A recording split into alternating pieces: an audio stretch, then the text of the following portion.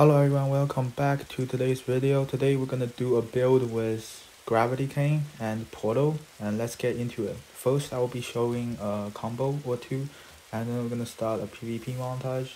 So